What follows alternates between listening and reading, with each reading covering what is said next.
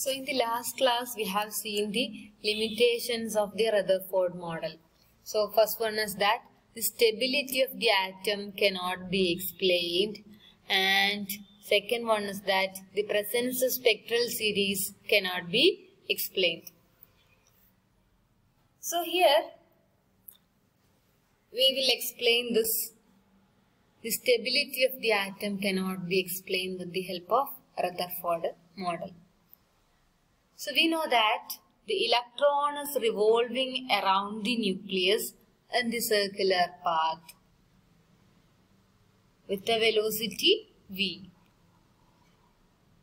We have seen that the magnitude of this velocity is a constant.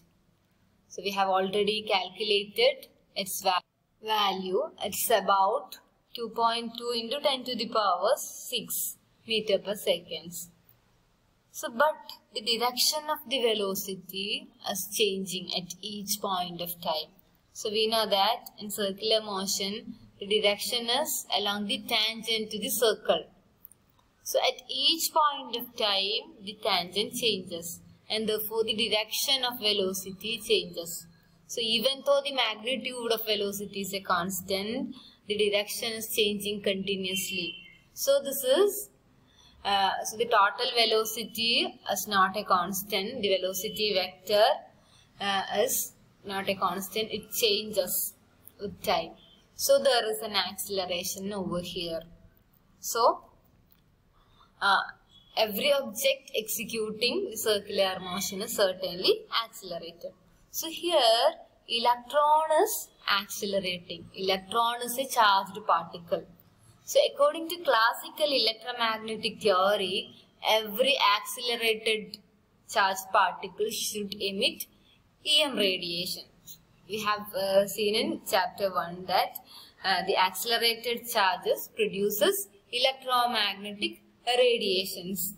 So this electron which is revolving around the nucleus should also emit EM radiations according to classical electromagnetic theory. And it should continuously lose energy and uh, spiraling into the nucleus. So, and finally collapse. But in real case, uh, the atoms do not collapse. So that means it is not emitting radiations continuously. So, if the Rutherford model was correct, the atoms should not be stable. But in the real world, we can see that all atoms, most of the atoms are stable. And therefore, the stability of the atoms cannot be explained with the help of Rutherford model. So, if the Rutherford model was correct, all the uh, electrons should emit energy continuously, spiraling into the nucleus, and uh, all atoms should collapse. But this is not happening. So, this is one of the limitation of the Rutherford model. And the second one is that the presence of spectral series cannot be explained with the help of the Rutherford model.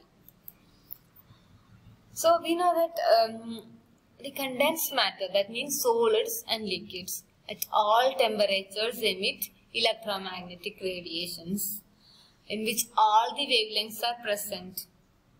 So, uh, the spectrum of the condensed matter is given by the black body radiation spectra. We have seen that in the uh, black body radiation spectra, we have all the uh, frequencies uh, ranging from the minimum to uh, frequency and and is is different.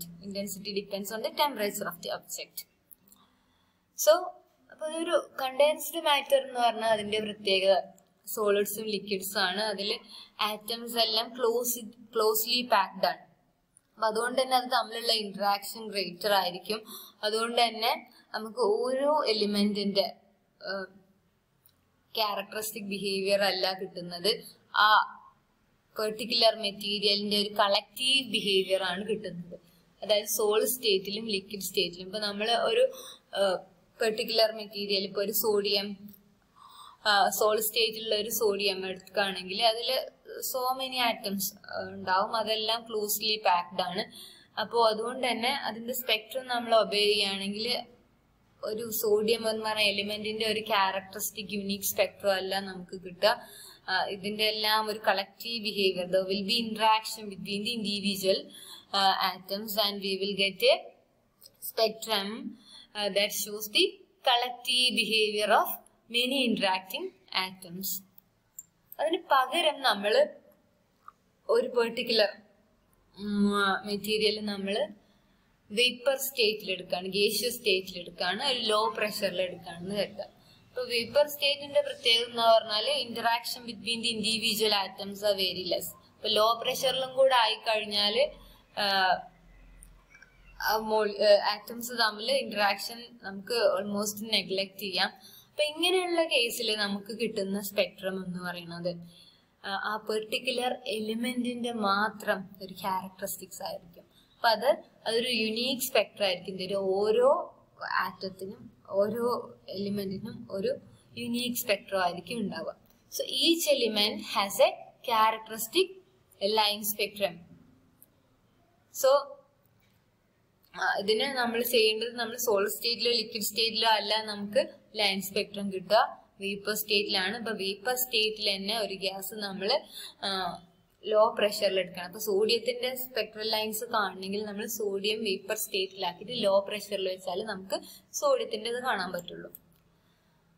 അപ്പോ അതിൽ തന്നെ നമുക്കറിയാം ഈ സ്പെക്ട്രത്തിൽ രണ്ട് type spectrum ഉണ്ട്. Emission spectra and absorption spectra അപ്പോ ഇവിടെ എമീഷൻ സ്പെക്ട്ര എങ്ങനെയാ കിട്ടുക എന്ന് വെച്ചാൽ ഒരു അറ്റോമിക് ഗ്യാസ് അല്ലെങ്കിൽ vapour having pressure which is less than atmospheric pressure suitably excited by passing an electric current through it. നമ്മൾ ഒരു പെർട്ടിക്കുലർ മെറ്റീരിയൽ ഫോർ എക്സാമ്പിൾ നമ്മളൊരു ട്യൂബിനകത്ത് സോഡിയം വേപ്പേഴ്സ് ഫിൽ ചെയ്തിട്ടുണ്ട്. ലോ പ്രഷറിലാണ് അപ്പോ അത് നമ്മളൊരു ഇലക്ട്രിക് കറണ്ട് എടുത്തിട്ട് എക്സൈറ്റ് ചെയ്യുക. അപ്പൊ ഇതിലെ ഇലക്ട്രോൺസിന് എനർജി കിട്ടും. അത് എക്സൈറ്റഡ് ആവും. Within a few seconds it limit radiation അപ്പൊ ഈ റേഡിയേഷൻ നമ്മൾ ഒരു സ്പെക്ട്രം ഉപയോഗിച്ച് സ്റ്റഡി ചെയ്ത് കഴിഞ്ഞാൽ അതിൽ ലൈൻ സ്പെക്ട്ര ആയിരിക്കും കിട്ടുക. So the spectrum contain certain specific wavelengths only അപ്പൊ ഇങ്ങനെ കിട്ടുന്ന സ്പെക്ട്രത്തിനെയാണ് നമ്മൾ എമീഷൻ സ്പെക്ട്രം എന്ന് പറയുന്നത്. So in the emission spectrum there are bright lines in the dark background അപ്പൊ സോഡി ആണെങ്കിൽ നമുക്ക് യെല്ലോ ലൈൻസ് ആണ് കിട്ടുക. അപ്പൊ അതുകൊണ്ട് തന്നെ yellow lines in the dark background ആയിരിക്കും കിട്ടുക. അപ്പൊ ഈ എമിഷൻ സ്പെക്ട്രത്തിന് എക്സാമ്പിൾ എന്ന് പറഞ്ഞാൽ sodium vapour lamp mercury vapour lamp hydrogen vapour lamp etcetera എങ്ങനെയാണ് എമിഷൻ സ്പെക്ട്രം ഫോം ചെയ്യുന്നത്. ഒരു ലോ പ്രഷർ ഗ്യാസ് നമ്മൾ ഇലക്ട്രിക് ഡിസ്ചാർജ് അപ്ലൈ ചെയ്തിട്ട് എന്നിട്ട് സ്പെക്ട്രം കിട്ടും. അപ്പം മെർക്കറി വേപ്പർ ലാമ്പിന്റെ കേസ് നിങ്ങൾക്ക് അറിയാം ഒരു വൈറ്റ് ലൈറ്റ് ആണ് കിട്ടുക. അപ്പൊ പ്രിസത്തിലൂടെ പോകുമ്പോൾ നമുക്ക് ഡിസ്ക്രീറ്റ് ലൈൻസ് ആണ് അതിൽ കാണാൻ പറ്റുക. അതുപോലെ തന്നെ sodium vapour lamp so every element displace a unique line spectrum when the sample of it in the vapour phases excited അപ്പോ എല്ലാ എലിമെന്റും തരുന്നത് ഒരു യുണീക് ലൈൻ സ്പെക്ട്രം ആയിരിക്കും. പക്ഷെ അതിനു വേണ്ടി നമ്മൾ അത് ആ സാമ്പിൾ വേപ്പർ ഫേസിൽ എക്സൈറ്റ് ചെയ്യിക്കണം. നമ്മളത് സോളിഡ് സ്റ്റേറ്റിലൊക്കെ ആണെങ്കിൽ നമുക്കൊരു കണ്ടിന്യൂസ് സ്പെക്ട്രം ആണ് കിട്ടുക. എല്ലാ ഇത് ലൈൻ ആയിരിക്കില്ല. എല്ലാ കളേഴ്സും ഉണ്ടാവും. അത് കണ്ടിന്യൂസ് ആയിട്ട് ഇങ്ങനെ ഡിസ്ക്രീറ്റ് ലൈൻസ് കാണാൻ പറ്റില്ല. സോ ഓരോ എലിമെന്റിനും ഒരു യുണീക് സ്പെക്ട്രം ആയതുകൊണ്ട് തന്നെ നമുക്ക് ഒരു പെർട്ടിക്കുലർ മെറ്റീരിയൽ സ്പെക്ട്രം കണ്ടു കഴിഞ്ഞാൽ ഏതാണ് മെറ്റീരിയൽ എന്ന് പ്രെഡിക്റ്റ് ചെയ്യാൻ പറ്റും. So spectroscopy is used for analyzing the of an unknown substance. ഒരു അൺനോൺ സബ്സ്റ്റൻസിന്റെ കോമ്പോസിഷൻ സോറി സ്പെക്ട്രം കണ്ടു കഴിഞ്ഞാൽ അതിന്റെ കോമ്പോസിഷൻ നമുക്ക് പ്രിഡിക്റ്റ് ചെയ്യാൻ പറ്റും. ഇത് ഡിഫറെന്റ് എലിമെന്റ്സിന്റെ എമീഷൻ സ്പെക്ട്രമാണ് ഹൈഡ്രോജൻ ഹീലിയം മെർക്കറി ഇതിന്റെയൊക്കെ എമീഷൻ സ്പെക്ട്രമാണ് കാണിച്ചിരിക്കുന്നത്. അപ്പോൾ അതുപോലെ തന്നെയാണ് അബ്സോർപ്ഷൻ സ്പെക്ട്രം അടുത്തത് വരുന്നത്. അപ്പോൾ അബ്സോർപ്ഷൻ സ്പെക്ട്രം കിട്ടാൻ നമ്മൾ എന്താ ചെയ്യേണ്ടതെന്ന് വെച്ചാൽ നമ്മൾ ഒരു പെർട്ടിക്കുലർ എലിമെന്റ് വേപ്പർ സ്റ്റേറ്റിൽ എടുക്കുക. അപ്പൊ അത് എക്സൈറ്റ് ചെയ്യിക്കുന്നതിന് പകരം അതിലൂടെ വൈറ്റ് ലൈറ്റ് പാസ് ചെയ്യാം white light is pass through a gas which is at low pressure അപ്പൊ എന്താ സംഭവിക്കുക എന്ന് വെച്ചാൽ നമുക്കറിയാം ഒരു കണ്ടിന്യൂസ് സ്പെക്ട്രം ആണ് നമ്മൾ വൈറ്റ് ലൈറ്റ് എല്ലാ ഫ്രീക്വൻസീസും ഉള്ള ഒരു വൈറ്റ് ലൈറ്റ് ആണ് നമ്മൾ സെൻഡ് ചെയ്യുന്നത്. അപ്പൊ അതിൽ എല്ലാ വേവ് ലെങ്ത്തും ഫ്രീക്വൻസീസും പ്രസന്റ് ആണ്. ഇത് ഈ പെർട്ടിക്കുലർ മെറ്റീരിയലിലൂടെ പാസ് ചെയ്യുമ്പോൾ ഇത് ഇതിന്റെ എനർജി ലെവലിന് കറസ്പോണ്ടിങ് ആയിട്ടുള്ള എനർജി അത് അബ്സോർബ് ചെയ്യും. അപ്പൊ നമുക്ക് കിട്ടുക വെച്ചാൽ വൈറ്റ് ലൈറ്റ് തന്നെ ആയിരിക്കും. പക്ഷെ അതിന്റെ സ്പെക്ട്രം ഒബ്സർവ് ചെയ്യുമ്പോൾ all colours are there but the one some energy some colours are missing ഇപ്പൊ ഫോർ എക്സാമ്പിൾ നമ്മൾ സോഡിയം ആണ് എടുക്കുന്നതെങ്കിൽ നമ്മൾ വൈറ്റ് ലൈറ്റ് ഇതിലൂടെ പാസ് ചെയ്ത് പിന്നെ നമ്മൾ ഈ സ്പെക്ട്രം നോക്കുമ്പോൾ നമുക്ക് we will see all colours except yellow yellow അല്ലാത്ത എല്ലാ കളേഴ്സും നമുക്ക് കാണാം. വെള്ളയുടെ സ്ഥാനത്ത് ഡാർക്ക് ലൈൻസ് ആയിട്ടായിരിക്കും കാണാം. അപ്പൊ യെല്ലോ വൺ യെല്ലോ ടു രണ്ട് ഡാർക്ക് ലൈൻസ് കാണും. അപ്പോൾ ഒരു മെറ്റീരിയലിന്റെ അബ്സോർപ്ഷൻ സ്പെക്ട്രം കിട്ടണമെങ്കിൽ വൈറ്റ് ലൈറ്റ് അതിലൂടെ പാസ് ചെയ്യുക then we will get dark lines in the bright background. So the absorption spectrum contains uh, dark lines in the bright background while the emission spectrum consists of bright lines in the dark background. Uh, so കിട്ടുന്നത് dark lines ആണ് that correspond to the missing wave length അപ്പൊ ആ white light മുഴുവൻ അതിലെ ചില wave length മിസ്സായിട്ട് ബാക്കി white light കാണും അതിന്റെ സ്പെക്ട്രം ഒബ്സർവ് ചെയ്യുമ്പോൾ there are some dark lines present. So such types of spectra obtained is called the absorption spectrum. അപ്പോൾ ഈ വൈറ്റ് ലൈറ്റിലെ ഇപ്പോൾ സോഡിയം ആണെങ്കിൽ യെല്ലോക്ക് കറസ്പോണ്ടിങ് ആയിട്ടുള്ള വേവ് ലെങ്ത് ഈ സോഡിയം വേപ്പേഴ്സ് അബ്സോർബ് ചെയ്യുന്നത് അതുകൊണ്ടാണ് നമുക്ക് മിസ്സിങ് ആയിട്ട് കാണുന്നത്. പക്ഷെ ഒരു ക്വസ്റ്റ്യൻ ഉണ്ട്. നമുക്കറിയാം ഈ ഇത് അബ്സോർബ് ചെയ്തിട്ട് എക്സൈറ്റഡ് സ്റ്റേറ്റിലേക്കാണ് പോവുക. എക്സൈറ്റഡ് സ്റ്റേറ്റ് സ്റ്റേബിൾ അല്ല.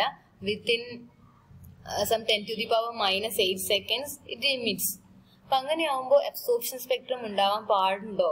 അതായത് നമുക്ക് ഈ ലൈൻ അബ്സോർബ് ചെയ്ത് within ten to the power minus eight second തന്നെ അത് എമിറ്റ് ചെയ്യുന്നുണ്ട്. അതായത് അത്രയും ten raise to minus eight seconds എന്ന് പറഞ്ഞാൽ അത്രയും ചെറിയൊരു ടൈം ഇന്റർവെല്ലാണ് അപ്പൊ അബ്സോർപ്ഷൻ സ്പെക്ട്രം നമുക്ക് എക്സ്പെരിമെന്റലി കിട്ടുന്നുണ്ട്. അപ്പൊ ഇതെങ്ങനെ തിയോറട്ടിക്കലി എക്സ്പ്ലെയിൻ ചെയ്യാൻ പറ്റുന്നു? ജസ്റ്റ് ഒന്ന് നോക്കുക. ഈ ചാപ്റ്ററിന്റെ അവസാനത്തിൽ ഡിസ്കസ് ചെയ്യാം. ഓക്കെ നിങ്ങളൊന്ന് ആൻസർ കിട്ടുമെന്ന് ചെക്ക് ചെയ്യാം ഓക്കെ സോ എക്സോപ്ഷൻ സ്പെക്ട്രത്തിന്റെ ഒരു എക്സാമ്പിൾ ആണ് ദി സ്പെക്ട്രം ഓഫ് സൺലൈറ്റ് അപ്പോൾ സൺ എന്ന് പറയുന്നത് ഒരു ബ്ലാക്ക് ബോഡിയാണ് അപ്പൊ അതിൽ എല്ലാ വേവ് ലെങ്സും പ്രസന്റ് ആണ്. പക്ഷെ സണ്ണിന് ചുറ്റും ഒരു അറ്റ്മോസ്ഫിയർ ഉണ്ട് ഒരു കുളർ ഗ്യാസിന്റെ ഒരു അറ്റ്മോസ്ഫിയർ ഉണ്ട്. അപ്പൊ സണ്ണിന്റെ സൺലൈറ്റ് ഏർത്തിൽ എത്തുമ്പോൾ ഈ ഗ്യാസിലൂടെ പാസ് ചെയ്തിട്ടാണ് ഏർത്തിൽ എത്തുക. അപ്പൊ അതുകൊണ്ട് തന്നെ ഈ കൂളർ ഗ്യാസിലുള്ള എലിമെന്റ്സ് അതിന്റെ കറസ്പോണ്ടിങ് ആയിട്ട് ഓരോന്നിന്റെയും വേവ് ലെങ്ത് അബ്സോർബ് ചെയ്തിട്ടുണ്ടാവും. അപ്പൊ അതുകൊണ്ട് നമുക്ക് ഏർത്തിൽ കിട്ടുന്ന സണ്ണിന്റെ സ്പെക്ട്രം നമ്മൾ ഒബ്സർവ് ചെയ്ത് കഴിഞ്ഞാൽ we can see dark lines so this an example for for spectrum and And dark lines in the solar spectra are called the Fraunhofer lines. ഈ ഫ്രോൺഹോഫർ ലൈൻസ് എക്സാമിൻ ചെയ്ത് കഴിഞ്ഞാൽ നമുക്ക് സണ്ണിന്റെ അറ്റ്മോസ്ഫിയറിലുള്ള എലിമെന്റ്സ് ഏതൊക്കെയാണെന്ന് പ്രെഡിക്റ്റ് ചെയ്യാൻ പറ്റും കാരണം ഓരോ എലിമെന്റിനും ഒരു particular absorption and emission spectrum ആണ് so by examining the Fraunhofer lines we can predict the elements present in the atmosphere of the sun.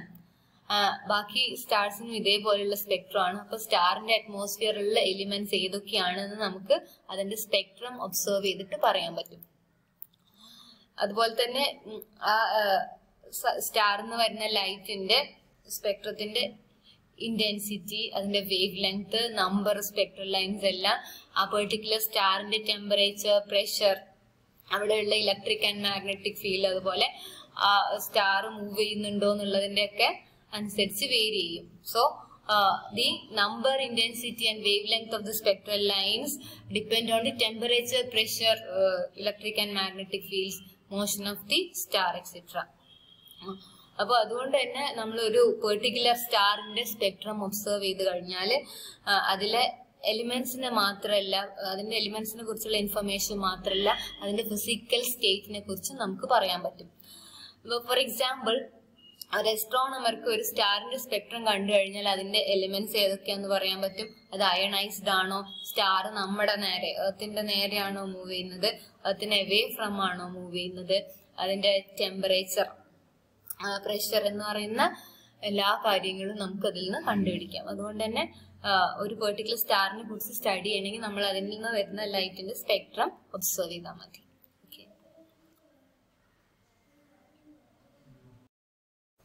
So now we will discuss about the spectral series.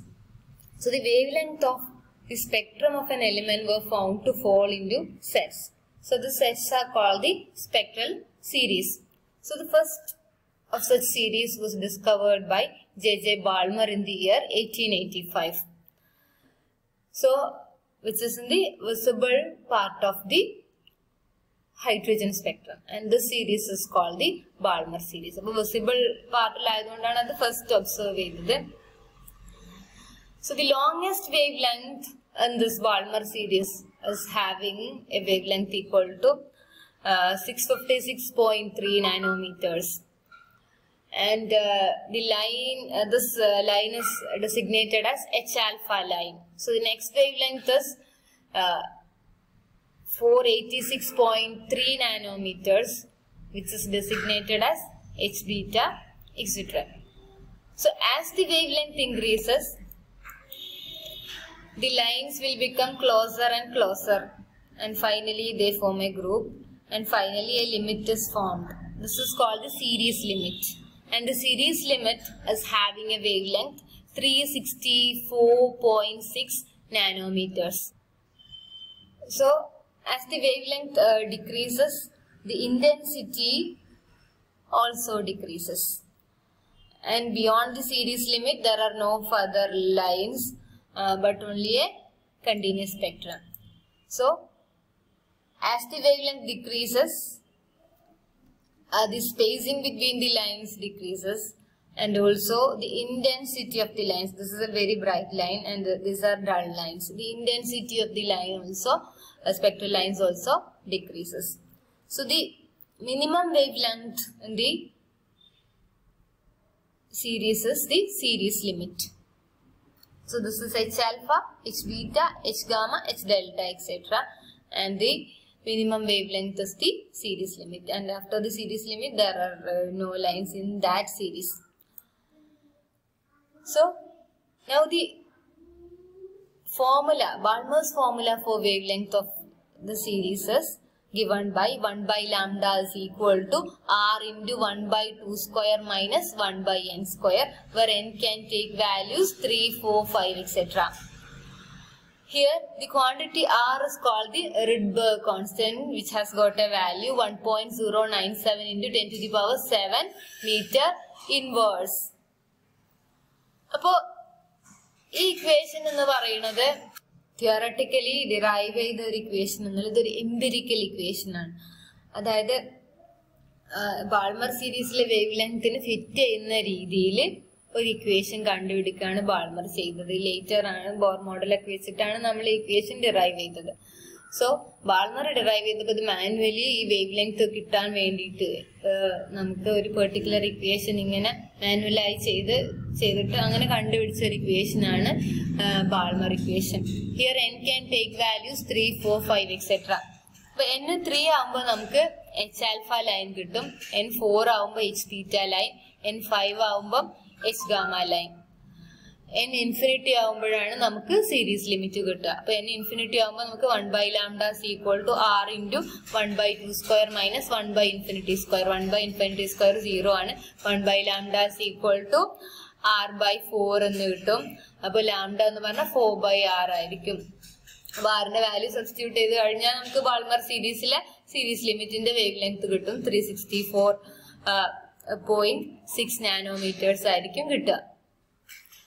അപ്പൊ ഈ Balmer series എന്ന് പറയുന്നത് it is in the visible region of the electromagnetic spectrum ഇപ്പൊ Balmer series മാത്രല്ല ഹൈഡ്രജന്റെ spectral സീരീസിൽ വരുന്നത്. So there are other serieses as well അപ്പോൾ ഹയർ എനർജി റീജിയനിൽ വരുന്ന അൾട്രാവയലറ്റ് റീജിയനിൽ വരുന്ന സീരീസ് ആണ് Lyman series So the wavelengths of this Lyman series are given by the equation 1 by lambda is equal to r into 1 by 1 square minus 1 by n square where n can take values 2, 3, 4 etc.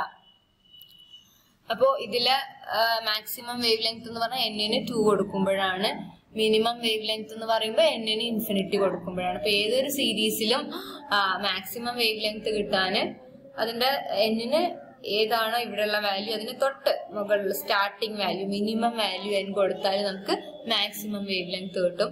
Minimum wave length കിട്ടണമെങ്കിൽ എന്നിന് infinity കൊടുക്കണം. So n equal to infinity correspond to the series limit അപ്പൊ Lyman സീരീസിൽ അതിന്റെ particular series limit ആയിരിക്കും. And the Lyman series in the ultraviolet region so the for the Lyman series is have the spectral line, lines lines of the series having a greater energy or greater frequency compared to the Balmer series.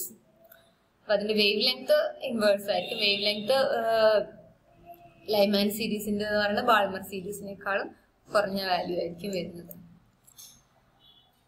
അതുപോലെ തന്നെ Balmer സീരീസിനേക്കാളും energy കുറഞ്ഞ region infrared റീജിയനിൽ നമുക്ക് spectral series കാണാം. Paschen series Brackett series and Pfund series so all this series lie in the infrared region of the electromagnetic spectrum so the equation of the Paschen series is given by 1 by lambda is equal to r into 1 by 3 square minus 1 by n square where n can take values 4, 5, 6, 6 etc. When n equal to 4 we will get the longest wavelength in the Paschen series. When n equal to infinity we will get the smallest wavelength in the Passion series. And the equation for bracket series is given by 1 by lambda is equal to r into 1 by 4 square minus 1 by n square where n can take values 5, 6, 7 etc. So when n is 5 we will get the longest wavelength and when n equal to infinity we will get the shortest wavelength in the bracket series. And the equation for the fun series as given by 1 by lambda is equal to r into 1 by 5 square minus 1 by n square where n can take values 6, 7, 8 etc. So when n equal to 6 we will get the longest wavelength and when n equal to infinity we will get the uh, shortest wavelength that corresponds to the series limit of the fun series. അപ്പൊ ഇതെല്ലാം ഈ മൂന്നും infrared റീജിയനിലാണ് അതായത് Balmer സീരീസിനേക്കാളും energy അല്ലെങ്കിൽ frequency കുറേ കുറഞ്ഞ റീജിയനിലാണ് അല്ലെങ്കിൽ വേവ് ലെങ്ത് കൂടിയ റീജിയനിലാണ് നമുക്ക് വരുന്നത്. അപ്പൊ ഇത് നമ്മൾ ജസ്റ്റ് പ്ലോട്ട് ചെയ്യുകയാണെങ്കിൽ നമുക്ക് കാണാൻ പറ്റും. ഇത് വേവ് ലെങ്ത് ഇൻക്രീസ് ചെയ്യുന്ന ഓർഡറിലാണ് ഇങ്ങോട്ട്.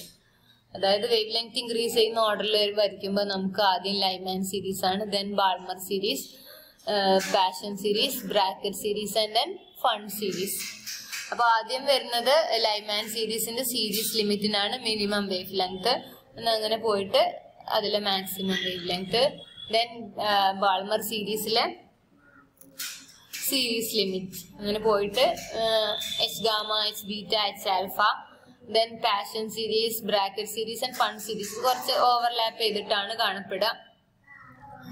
ഇനി നമ്മൾ തിരിച്ച് അതായത് ഫ്രീക്വൻസി ഇൻക്രീസ് ചെയ്യുന്ന ഓർഡറിൽ ചെയ്ത് ചെയ്ത് കഴിഞ്ഞാൽ നമുക്കറിയാം ഇൻഫ്രാറെഡ് റീജിയനിൽ ഇതാണ്. അപ്പൊ ആദ്യം വരുന്നത് ഫൺ സീരീസ് ഫൺ സീരീസിലെ maximum wavelength then Brackett series Paschen series then Balmer series H alpha H beta H gamma Balmer സീരീസിലെ സീരീസ് ലിമിറ്റ് വരും. അപ്പൊ ഈ ഓർഡറിൽ ഇങ്ങോട്ട് വരയ്ക്കുമ്പോൾ എന്നിട്ട് ലൈമാൻ സീരീസിലെ മാക്സിമം ലെങ്ത് ലൈമാൻ അങ്ങനെ പോയിട്ട് ലൈമാൻ സീരീസിലെ സീരീസ് ലിമിറ്റ് ആയിരിക്കും വരുന്നത്. അപ്പൊ ഇത് നമ്മൾ ജസ്റ്റ് നമുക്ക് ഇങ്ങനെ മാർക്ക് ചെയ്യാം. ഇത് വേവ് ലെങ്ത് ഇൻക്രീസ് ചെയ്യുന്ന ഡിറക്ഷൻ ഇങ്ങോട്ടാകുമ്പോൾ ഫ്രീക്വൻസി ഇൻക്രീസ് ചെയ്യുന്ന direction so these are the spectral series. So the presence of this spectral series cannot be explained with the help of uh, Rutherford model. But Rutherford model ഇലക്ട്രോണിന് ഏതൊരു എനർജിയും possible ആണ് അപ്പൊ line ഒരിക്കലും discrete spectrum line spectrum കിട്ടാൻ പാടില്ല continuous spectrum ആയിരിക്കണം കിട്ടേണ്ടത് റദർഫോർഡ് മോഡൽ അനുസരിച്ച് കാരണം അവിടെ എല്ലാ എനർജീസും ന്യൂക്ലിയസിന് ചുറ്റുള്ള all energies are possible and for the spectrum should be continuous but actually we are getting in experiment we are getting uh, line spectra that means the energy levels are discrete so this phenomena also cannot be explained with the help of a Rutherford model. So these are the two limitation, limitations of the Rutherford model. One is that the stability of the atom cannot be explained and the second one is that uh, the uh, presence of spectral series, the line spectra, atomic line spectra cannot be explained with the help of uh, Rutherford model അപ്പൊ ഇത് overcome ചെയ്യുന്ന മോഡലാണ് Bohr model അപ്പൊ bore മോഡലിൽ നമുക്കറിയാം as long as the electron remains in an orbit there is no emission Or absorption of the energy അപ്പൊ അവിടെ electron ഒരു പെർട്ടിക്കുലർ ഓർബിറ്റിലാണെങ്കിൽ എമിഷനും ഇല്ല അബ്സോർപ്ഷനും ഇല്ല അപ്പൊ അത് വെച്ചിട്ട് നമുക്ക് ആറ്റത്തിന്റെ സ്റ്റെബിലിറ്റി പറയാം and all uh, levels are possible not possible uh, the electron can revolve around the nucleus such that the angular momentum is an integral multiple of h അപ്പൊ അങ്ങനെയുള്ള ലെവൽസ് മാത്രമേ പോസിബിൾ ആവുള്ളൂ. അപ്പൊ അവിടെ വെച്ചിട്ട് നമുക്ക് എനർജി ലെവൽസ് അത് വെച്ച് നമ്മൾ ചെയ്തു കഴിഞ്ഞാൽ എനർജി ലെവൽസ് ഡിസ്ക്രീറ്റ് ആണെന്ന് കാണാം. അപ്പൊ എനർജി ലെവൽസ് ഡിസ്ക്രീറ്റ് ആവുമ്പോൾ ഒരു ലെവലിൽ നിന്ന് വേറൊരു അതായത് ബോർ തിയറിയിലെ വേറൊരു പോസ്റ്റ് സോറി ബോർ പോസ്റ്റിലേറ്റിലെ വേറൊരു പോസ്റ്റിലേറ്റ് എന്ന് പറയുന്നത് the emission and absorption take place whenever an electron makes a transition from one orbit to another. അപ്പോൾ ഒരു ഓർബിറ്റിൽ നിന്ന് വേറൊരു ഓർബിറ്റിലേക്ക് ട്രാൻസിഷൻ നടത്തുമ്പോൾ അപ്പോൾ ഒരു ഹയർ എനർജി സ്റ്റേറ്റിലേക്കാണെങ്കിൽ അബ്സോർപ്ഷൻ ലോവർ എനർജിയിലേക്കാണെങ്കിൽ എമിഷൻ അപ്പോൾ അപ്പോഴാണ് എമിഷനും അബ്സോർപ്ഷനും ഉണ്ടാവുക. അപ്പോൾ അത് തമ്മിലുള്ള എനർജി ലെവൽസ് തമ്മിലുള്ള ഡിസ്റ്റൻസ് ഫിക്സഡ് ആയതുകൊണ്ട് നമുക്ക് ലൈൻ സ്പെക്ട്രം കിട്ടുന്നു. അപ്പോൾ ബോർ തിയറി വെച്ചിട്ട് ഈ ലിമിറ്റേഷൻസ് രണ്ടും ഓവർകം ചെയ്യാൻ പറ്റും. അതായത് ഒന്നാമത് stability of the atoms can be explain that means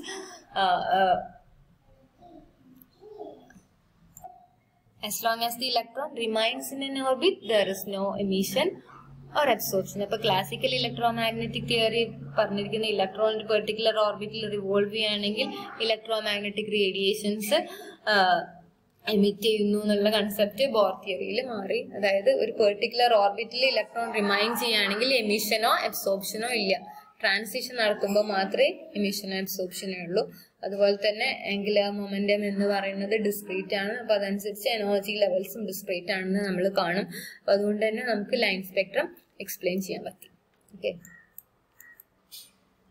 അതിന് നേരത്തെ നേരത്തെ നമ്മൾ ചോദിച്ചൊരു ക്വസ്റ്റ്യന് ജസ്റ്റ് ഒരു ആൻസർ നമ്മൾ പിക്ചറിൽ റെപ്രസെന്റ് ചെയ്യാം. നമുക്കൊരു ബ്ലാക്ക് ബോഡി ഉണ്ട്. അല്ലെങ്കിൽ ഒരു വൈറ്റ് ലൈറ്റിന്റെ ഒരു സോഴ്സ് ഉണ്ട്. അതിന്റെ സ്പെക്ട്രം കാണുകയാണെങ്കിൽ അതൊരു കണ്ടിന്യൂസ് സ്പെക്ട്രം ആയിരിക്കും. എല്ലാ വേവ് ലെങ്ത്തും അതിൽ പ്രസന്റ് ആയിരിക്കും. ഇനി നമ്മൾ ഈ വൈറ്റ് ലൈറ്റ് ഒരു ഗ്യാസിലൂടെ ഒരു വേപ്പറിലൂടെ ലോ പ്രഷറിലുള്ള ഒരു വേപ്പറിലൂടെ പാസ് ചെയ്യാണ്. അപ്പൊ നമുക്കറിയാം അബ്സോർപ്ഷൻ സ്പെക്ട്ര കിട്ടും. അപ്പൊ പ്രസത്തിലൂടെ നോക്കുമ്പോൾ അതിന്റെ സ്പെക്ട്രത്തിൽ നമുക്ക് കാണാൻ പറ്റും dark lines in the bright background അപ്പൊ ഈ കളറിലുള്ള ഇത് ഇതിന്റെ പെർട്ടിക്കുലർ എലിമെന്റ്സിന്റെ വേവ് ലെങ്ത് മാത്രം മിസ്സിങ് ആയിരിക്കും. പക്ഷെ നമുക്കറിയാം ഈ ഇതെങ്ങനെയാ ഇതെങ്ങനെയാ സംഭവിക്കാന്ന് വെച്ചാൽ ഈ വൈറ്റ് ലൈറ്റ് ഈ എലിമെന്റിലൂടെ പാസ് ചെയ്യുമ്പോൾ ഈ വൈറ്റ് ലൈറ്റിൽ ഈ എലിമെന്റിന്റെ എനർജി ലെവലിന് കറസ്പോണ്ടിങ് ആയിട്ടുള്ള എനർജി ഈ എലിമെന്റ് അബ്സോർബ് ചെയ്യുന്നു. അപ്പൊ അബ്സോർബ് ചെയ്യുമ്പോഴാണ് നമുക്ക് ആ എലിമെന്റ് ആ പെർട്ടിക്കുലർ ഇപ്പൊ സോഡിയം ആണെങ്കിൽ യെല്ലോ ലൈൻസ് അത് അബ്സോർബ് ചെയ്യുന്നു. അപ്പൊ യെല്ലോ ഉള്ളിടത്ത് നമുക്ക് ഒരു ഡാർക്ക് ലൈൻ കിട്ടും. പക്ഷെ നമുക്കറിയാം within ten to the power minus eight second കഴിഞ്ഞു കഴിഞ്ഞാൽ ഈ എക്സൈറ്റഡ് സ്റ്റേറ്റ് അതായത് ഈ വേവ് ലെങ്ത് അബ്സോർബ് ചെയ്ത് ഇലക്ട്രോൺ എക്സൈറ്റഡ് സ്റ്റേറ്റിലേക്ക് പോയി. എക്സൈറ്റഡ് സ്റ്റേറ്റിലുള്ള ഇലക്ട്രോൺ ഗ്രൗണ്ട് സ്റ്റേറ്റിലേക്ക് തന്നെ തിരിച്ചു വരും. അപ്പോൾ അത് ചെറിയൊരു ടൈം ഇന്റർവെല്ലാണ് പക്ഷെ എന്താ സംഭവിക്കുക എന്ന് വെച്ചാൽ ഈ ഈ ലൈറ്റ് നമ്മൾ ഈ ഡിറക്ഷനിലാണ് കൊടുക്കുന്നത് അല്ലേ? അപ്പൊ അതിന്റെ നേരെ നമുക്ക് എബ്സോർപ്ഷൻ സ്പെക്ട്രം കിട്ടും. പക്ഷെ ഈ എമിഷൻ നടക്കുക എന്ന് പറഞ്ഞാൽ it will happen in all the random directions എല്ലാ ഡിറക്ഷനിലും നമ്മൾക്ക് നടക്കും. അപ്പൊ അതിന്റെ എമിറ്റഡ് ലൈറ്റിന്റെ ഇന്റൻസിറ്റി ഈ ഈ അബ്സോർപ്ഷൻ സ്പെക്ട്രം നമ്മൾ ലൈറ്റ് കൊടുത്ത ഡിറക്ഷനിൽ എന്ന് പറഞ്ഞാൽ നോക്കുമ്പോൾ വളരെ കുറവായിരിക്കും. അപ്പൊ അതുകൊണ്ട് തന്നെ നമുക്ക് ഇത് ഡാർക്ക് ആയിട്ട് തന്നെയാ കാണാം അപ്പൊ ബാക്കി ഡിറക്ഷൻസിലൊക്കെ നോക്കിക്കഴിഞ്ഞാൽ നമുക്ക് എമിഷൻ സ്പെക്ട്രം ആണ് കിട്ടുന്നത്. ഈ ഡിറക്ഷനിലും കുറച്ചൊരു ഇന്റൻസിറ്റി ഉണ്ട്. അതുകൊണ്ട് തന്നെ ഈ ഡാർക്ക് ലൈൻസ് ഈ അബ്സോർപ്ഷൻ സ്പെക്ട്രത്തിലെ ഡാർക്ക് ലൈൻസ് എന്ന് പറയുന്നത് കംപ്ലീറ്റ്ലി ഡാർക്ക് ആയിരിക്കില്ല. സോ നമ്മൾ നേരിട്ട് ഈ വൈറ്റ് ലൈറ്റ് ഇൻസിഡന്റ് ഏത് ഡിറക്ഷനിൽ നോക്കുന്നതിന് പകരം ബാക്കി എല്ലാ ഡിറക്ഷനിലും നോക്കിക്കഴിഞ്ഞാലും ഇങ്ങോട്ടോ ഇങ്ങോട്ടോ നോക്കിക്കഴിഞ്ഞാൽ നമുക്ക് എമിഷൻ സ്പെക്ട്രം കിട്ടും. നേരെ നോക്കിക്കഴിഞ്ഞാൽ എബ്സോർപ്ഷൻ സ്പെക്ട്രമാണ് കിട്ടുക. Okay thank you